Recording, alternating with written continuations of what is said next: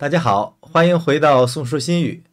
那前两天啊，我做了一期关于马来西亚鬼城的这么一个视频啊，是因为看了这个西康扎记和另外一个叫橘猫队长 Alex 的视频啊，有感而发。呃，当然了，我这视频观看量不大哈，但是那两位呢，哎，他们到马来西亚，他们现在可能都还在马来西亚。到了马来西亚之后呢，也有不同的遭遇。哎，那么我们。特别是今天啊，这个西康扎记呢，他发了一个新的视频，讲什么呢？讲他在马来西亚呢，好像遭遇了网暴。哎，这个就有意思了。今天呢，我们把这两个频道放到一块儿比较一下，我也从中学习一下，给大家介绍一下。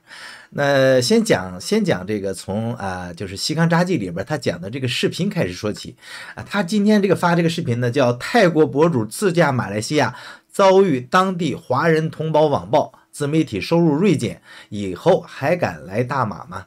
哎，我觉得这也依然是一个标题党啊，就是说我再捅你一下，触动你一下，希望你来看视频。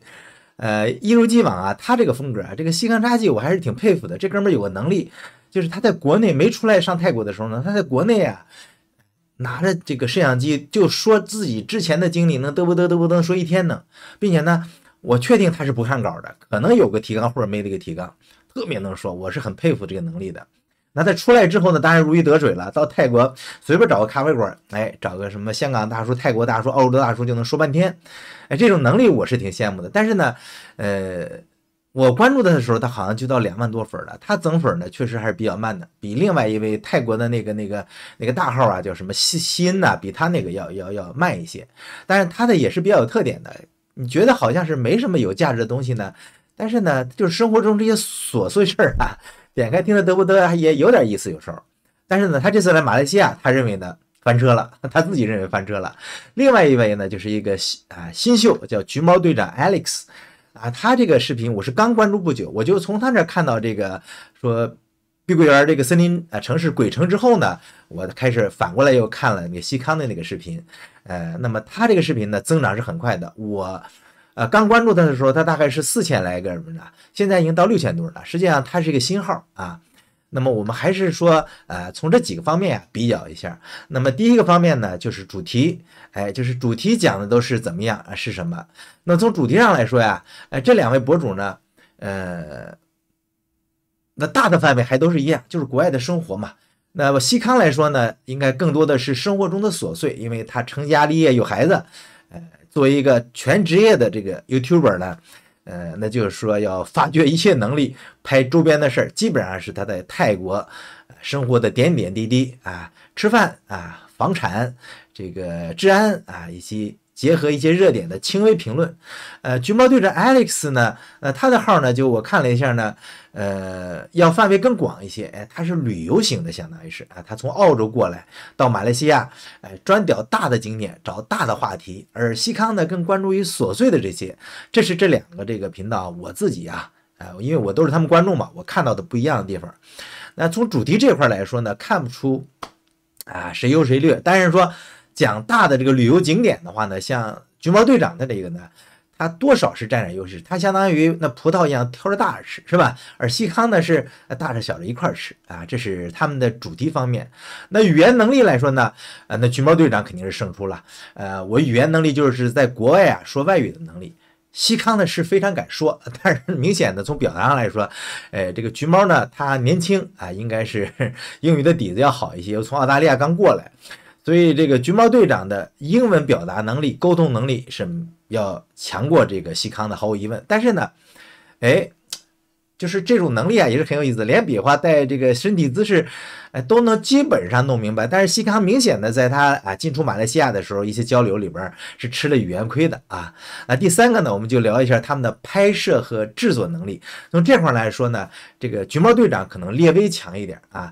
呃，西康呢看起来就是拿一个 GoPro 相机吧，啊，然后呢运动相机有没有单独的拾音？可能都没有单独的拾音啊。呃，那另外的制作呢？这两位看起来呢也都没有啊，基本上就是啊拍摄的原样的这个四 K 吧，是不是四 K？我没仔细看啊。原样的视频呢，呃，剪辑剪辑完了以后呢，好像字幕都没有插。对，这两位都没有加字幕，这个就让我很汗颜啊！我现在的观看量上不去啊，我是挖空心思，我现在加六国的字幕，很多重要的视频，硬字幕、软字幕，六国字幕加章节，依然还是。要差一些，所以呢，走出去要比自己在屋子里嘚啵嘚看起来要强很多啊。这是从制作上来说呢，我觉得啊旗鼓相当啊，都没有说太花太多的精力和心思，因为在外边啊，他在外出差的时候确实是是有难处的啊。那节目特点啊，这个节目特点呢，可以说呃是在我指的是在主题之外啊，哎双方的一些比较。那么节目特点来说呢，呃，橘猫队长啊，包括他澳洲的视频呢，我看起来的话呢，呃，没有形成太大的风格，但是一到马来西亚，马上这个风格就形成了。橘猫队长呢，可以看到他的这个视频啊，就是从到马来西亚前后开始爆发的。他之前几如是零号，他突然起号之后呢，从马来西亚开始迅速增长啊，他这个曲线呢是还是非常好的啊。而西康呢，是因为到了两万多粉了，他进入一个。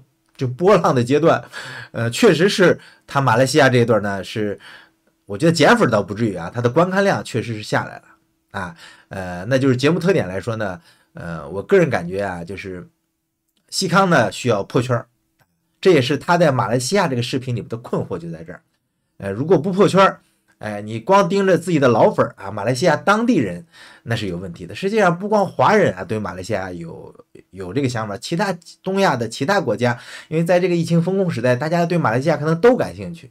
我是觉得他应该加英文字幕的啊。呃，另外呢，就是突破他原来在泰国的那些琐碎的事儿，哎，弄一些更有意思的事儿。不破圈的话呢，确实是啊，节目特点就突出不出来。而这个橘猫队长呢，属于成长过程中。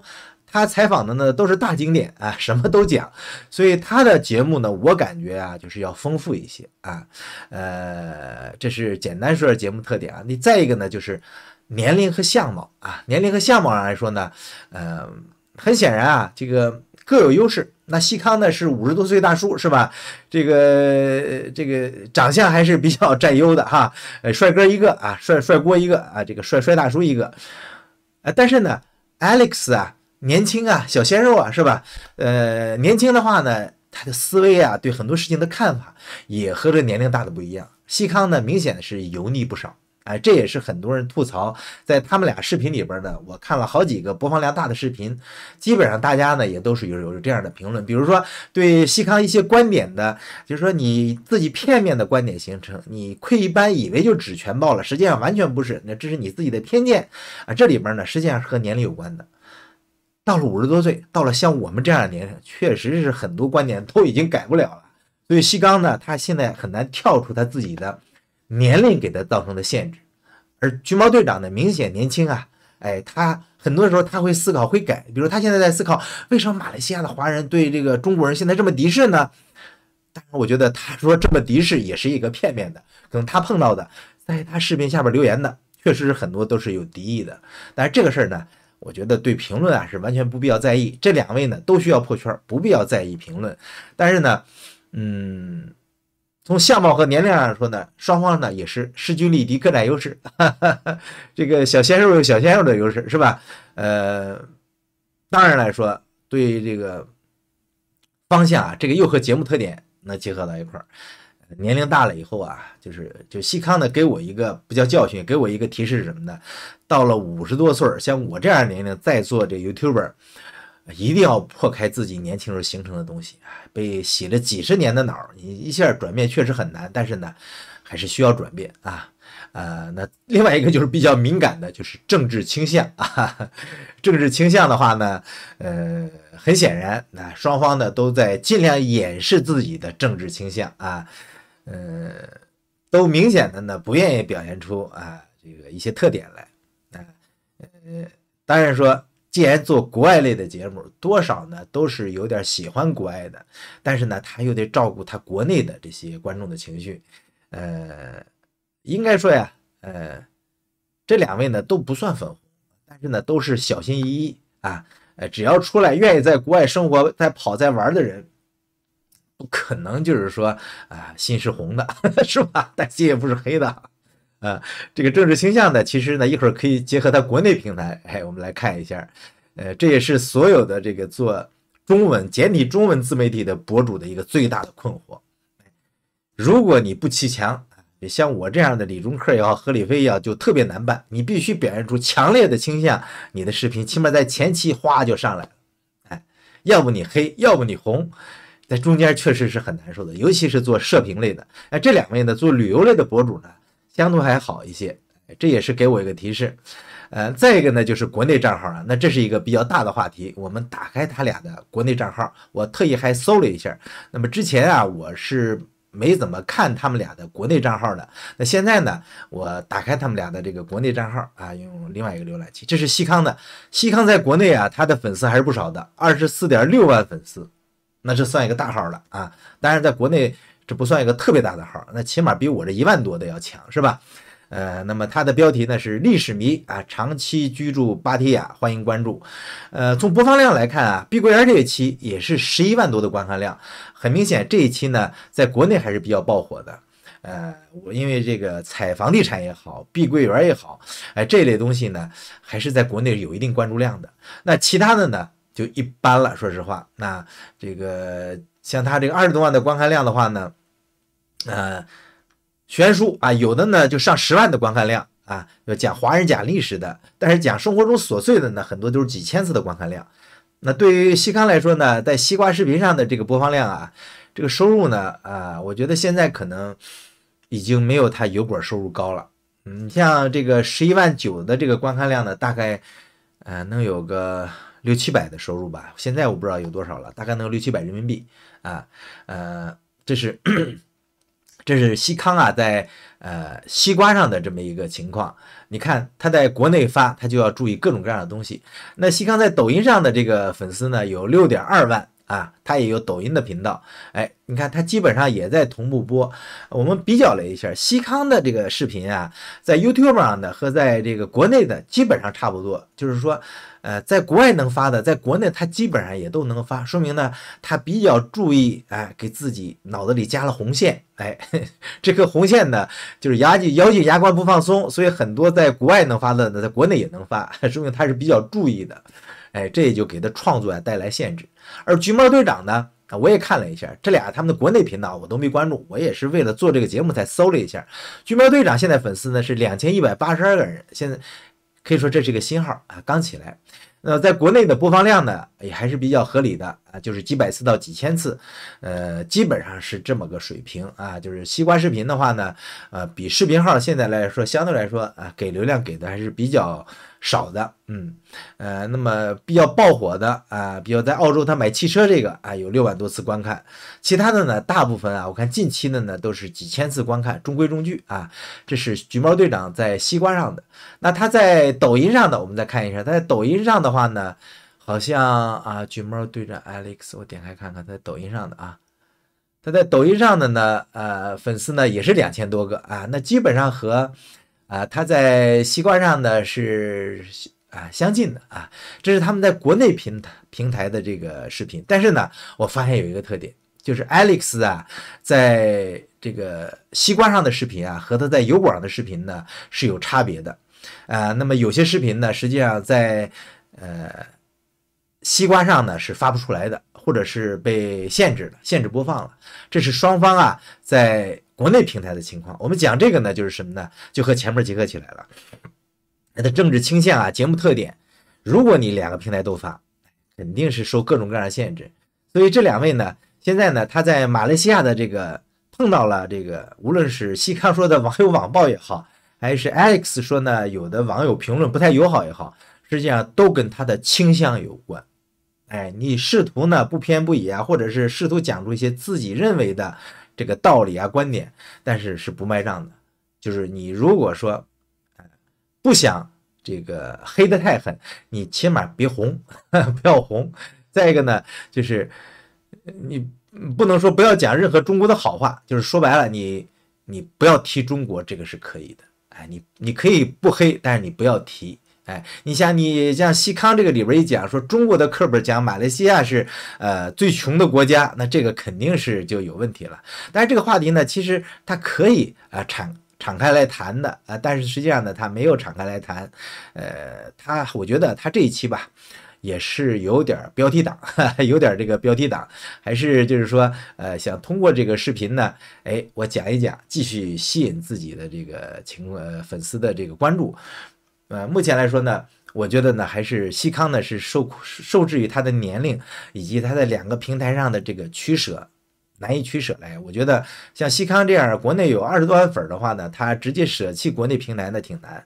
像 Alex，我觉得呢，国内平台既然两千多粉，干脆就不要了。如果长期做国外博主，那就讲国外的，那你直接黑化，哈哈哈直接黑化是吧？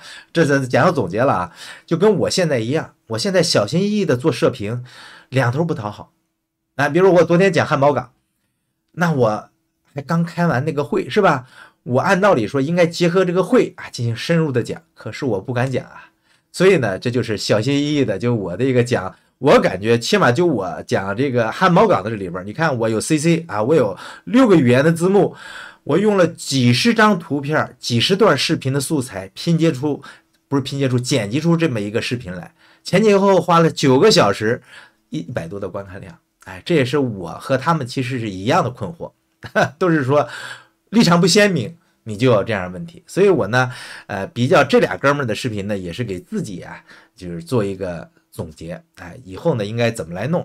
呃，逐渐的话呢，要不呢就不要讲射频类的，讲射频类的话呢，呃，如果不讲某一个技术、某一个垂直领域行业的视频，视频类就社会评论类的啊，我觉得社评类的挺难往下讲的。当然，旅游博主的话呢，他们相对好一些，但是依然会碰到很多问题。哎，所以这块呢，我觉得呢，呃，这两位呢，肯定比我的关注量啊，还是观看量、收益都要高很多啊，我还是要学习。